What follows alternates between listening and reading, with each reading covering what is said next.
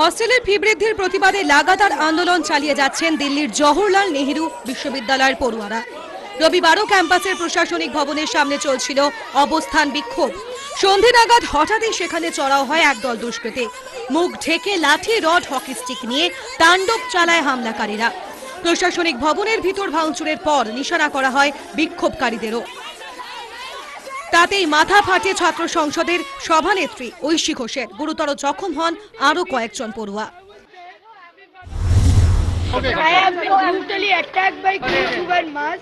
I don't know, I've been bleeding. Older, I am not even in a condition to talk. I've been brutally beaten up. I was there with one of my activists. Please, yaar, mein baat kar lena. এই ঘটনায় বিজেপির ছাত্র সংগঠন এবিভিপিকেই কাঠগড়ায় তুলেছেন আক্রান্তরা। একই সুর বাম ছাত্রনেতার গলাতেও। আগামীকাল দেশ জুড়ে এসএফআই এর প্রতিবাদ কর্মসূচি রয়েছে বলেও জানিয়েছেন তারা। নির্মম ভাবে আক্রমণ করেছে সিপি এবং শুধু তাই না অথরিটিকে সঙ্গে নিয়ে আর আরএসএস পুষ্ট অথরিটিকে সঙ্গে নিয়ে।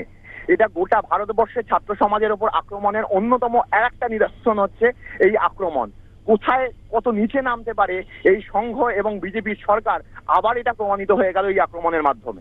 এই ঘটনার জন্য আমরা সরাসরি ভাবে যে প্রশাসন, বিজেপি সরকার, কেন্দ্রের বিজেপি সরকার এবং ক্যাম্পাসের মধ্যে যে গুন্ডা, যাদেরকে আমরা ছাত্র বলতেও লজ্জা হয়, সেই এবিভিপি কে দায়ী করছি। বিগত এক মাস ধরে তারা বিভিন্ন ভাবে চেষ্টা করেছে এই যে আমাদের আন্দোলন, এই সরকারের বিরুদ্ধে, এই প্রশাসনের বিরুদ্ধে সেটাকে ভেঙে দেওয়ার। কিন্তু আমাদের ছাত্রদের মধ্যে এত বেশি একতা ছিল যে তারা ভাঙতে পারেনি। তাই জন্য আজকে তারা হিংস্রতায় নেমে এসছে। যদিও তাদের বিরুদ্ধে ওঠা যাবতীয় অভিযোগ অস্বীকার করেছে এবিভিপি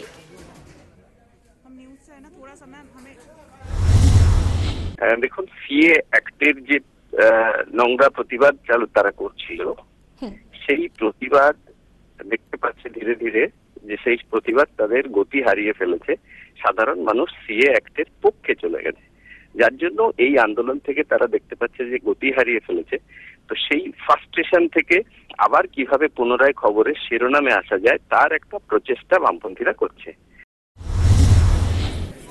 রাজনৈতিক দড়ি টানাটানির মধ্যেই জেএনইউ এর এদিনের ঘটনায় নিন্দার ঝড় দেশ জুড়ে।